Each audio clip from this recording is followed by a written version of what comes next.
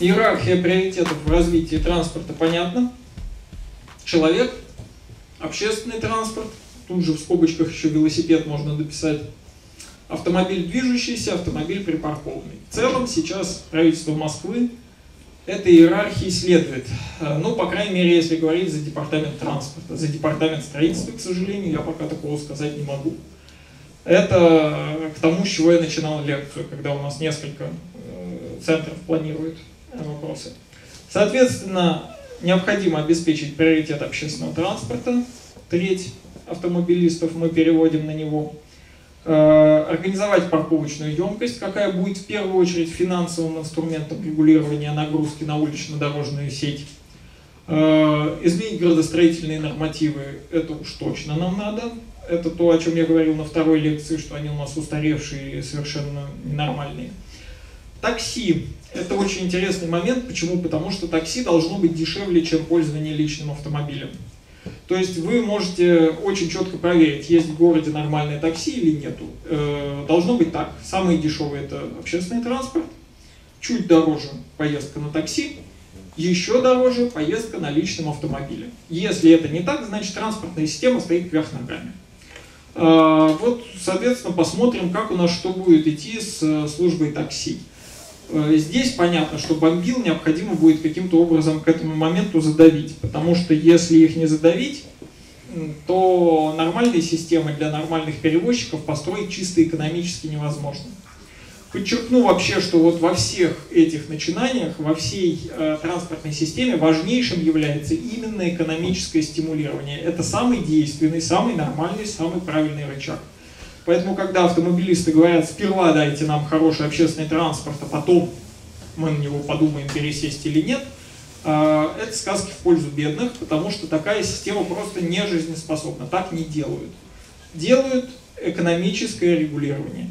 Как только ресурсы перераспределяются с автомобиля на общественный транспорт, общественный транспорт начинает становиться все лучше и лучше, автомобиль все дороже и дороже, и появляется стимул для того, чтобы пересесть на общественный транспорт. Вот такая задача, собственно говоря, ставится. Что касается улично-дорожной сети, то нам необходимо повышать ее связанность. Э, от транспорта особо малой вместимости, я имею в виду вот Ford э, транзиты, от них надо избавляться. Для Москвы это не нормальный транспорт. Такой транспорт, в принципе, в цивилизованном мире существует, ну, допустим, на туристических направлениях какая-то вот извилистая дорога к замку. И ездят туда только туристы ну и, я не знаю, жители замка. Вот, а вот э, там этот транспорт в принципе может работать. Больше для него ниши в принципе не существует в нормальной системе транспортных перевозок. Ну и ключевой момент – это все решения мы принимаем на основе моделирования, моделирования общего, моделирования отдельных перекрестков, моделирования отдельных светофорных объектов и так далее. То есть должна быть подтверждена эффективность. Без подтверждения эффективности делать ничего далее нельзя. Слава богу, я закончил эту длинную лекцию. Она получилась какая-то очень уж гипертрофированная, длинная. Но э, я теперь с радостью могу перейти к ответам на ваши вопросы.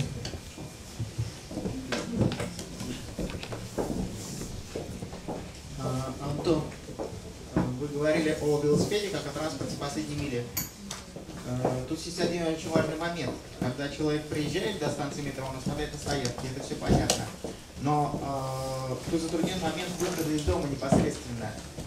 Очень сложно, большое число людей прицепить велосипеды, если они вынуждены тащить велосипед с балкона до лифта, э, спускать на лифте и так далее. Вопрос понятен.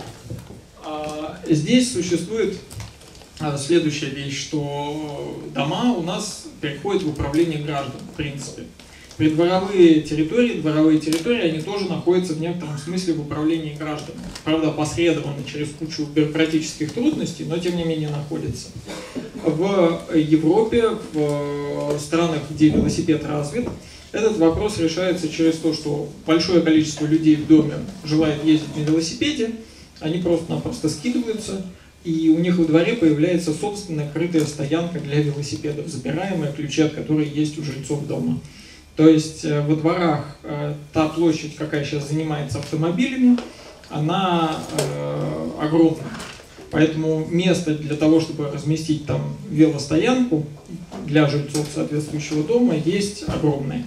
Вопрос в том, что приоритет с автомобиля должен перейти на велосипед, и тогда это становится совершенно реальной темой, которая может решаться. Антон, а вы говорили про транспортную модель очень много. А когда она, собственно, должна быть, скорее всего, по ожиданиям? И, э, ну, простые люди насколько смогут с ней ознакомиться и какие-нибудь свои идеи? Замечательный вопрос, который я очень рекомендую адресовать Евгению Михайлову, который, в принципе, является чиновником, который курирует создание в том числе этой модели. Но на самом деле, насколько я знаю, до конца года там контракт на закрытие этих работ. Другой вопрос, что там необходимо обучить соответствующее количество людей, вести кучу организационных вопросов, поскольку вот в Самаре, для примера приведу, модель была готова в августе. А, в ней моделированы сценарии, несколько сценариев там по развитию уличной дорожной сети на перспективу для чемпионата мира – но все эти вещи делались в экспресс-режиме без собственных сотрудников в Самаре. То есть их просто подрядчик отмоделировал для того, чтобы показать, как это все работает. Э, очень тяжело людей подбирать. А конца года-то этого или следующего? Это, вроде бы это. У Михайлова уточните, может оказаться, что я тут совершенно вру бессовестно вам. Я не хочу. Сейчас. Что? А, да. А, вопрос такой немного технический про вот эту модель. А, как, как ей пользоваться? То есть это исключительно метод проб и ошибок, то есть сидят люди и пробуют, а вот давайте здесь поставим дорогу, вот здесь мост. Или можно вот э, там ее запустить, она там э, недельку подумает, и потом выдаст и скажет, что вот вам нужно построить вот здесь вот мост и так далее. Э, соответственно, модель сама думать ничего не умеет, к сожалению. Таких моделей пока у нас не существует. В принципе, такого софта пока не существует.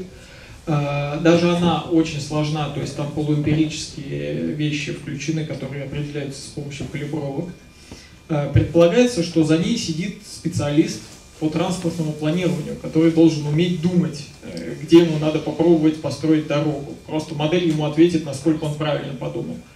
Плюс к этому у различных ведомств, чиновников, да и граждан, в принципе, могут возникать какие-то хотелки. Эти хотелки отправляются на соответствующее моделирование. То есть думать она не умеет, но загрузка ее даже вот по таким задачам, по таким сценариям, получается просто колоссально. По опыту Перми, где она работает и для Перми, и для Пермского края уже достаточно давно. То есть там э, в непрерывном режиме сидит центр моделирования, который непрерывно все эти вещи вот пробует и выдает соответствующие отчеты в органы власти, что делать, что не делать. Органы власти слушают эти отчеты? Ну, в Перми, да. В Москве Перми, да. Меня есть э, вопрос, э, который мне передал волонтер, который очень хотел тебе задать его в прошлый раз, но забыл и очень сожалел об этом. У нас тут читал лекцию Александр Шумский из «Пробок нет». И очень долго распинался на тему того, что вот у нас есть стенд с куском Ленинского проспекта и трамвайчиком. И он якобы накануне значит, своей лекции два часа потратил на то, чтобы смоделировать э, возможное движение на этом перекрестке, у него ничего не получилось. На что наш волонтер справедливо заметил ему, что это же не значит, что это невозможно. А Александр Шумский пообещал поставить бутылку виски человеку, который сможет смоделировать, значит, это движение. Вот. И, значит, Борис хотел тебе переадресовать это. Меня, я просто это, мне виски врачи запрещают. Но э, если кто-то хочет попытаться выиграть у Шумского виски, я рекомендую посмотреть на Петербург. Там аналогичные проспекты есть, аналогичные линии, аналогичным образом идущие, поэтому посмотрите, насколько дорогой виски, стоит ли съездить в Петербург, чтобы записать фазы светофоров соответствующих, или не стоит.